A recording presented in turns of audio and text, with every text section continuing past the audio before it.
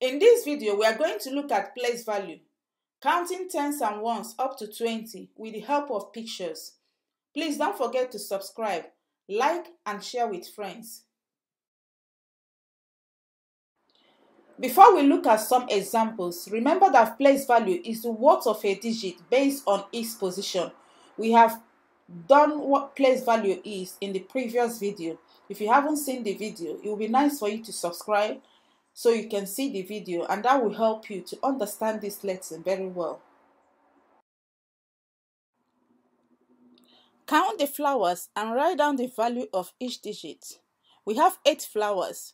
We want to know the value of 8 in tens and the ones. Is it tens or is it ones? Let's count the flowers.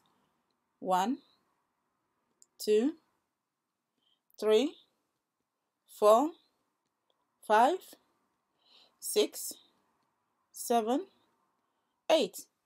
We can see that in a group of 10, we have only 8 flowers. So we still have 2 spaces left to make it a group. So 8 is 8 ones. So we have 0 tens. Count the flowers and fill in the missing numbers.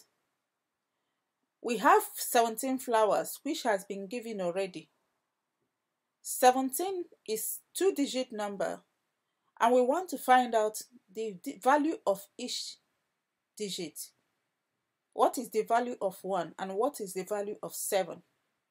Now let's find out by counting the flowers. 1, 2, 3, four, five, six, seven, eight, nine, ten. We have one group of 10. So we're going to put it under tens place. And then we count the remaining. One, two, three, four, five, six, seven. Seven is not up to one group. Each group is 10. So 7 will be under ones. So 17, 1 in 17 is 1 tenth and the 7 is 7 ones. Count the flowers and write the value of each digit. We have 15 flowers and we want to find out the value of each digit in 15. Is it tens or ones? Let's count the flowers. 1, 2, 3, 4, 5, 6, 7, 8, 9, 10. We have one group of 10. And let's keep counting. 11, 12, 13, 14, 15. So we have one group of 10 and the five ones. One group of tens and five ones.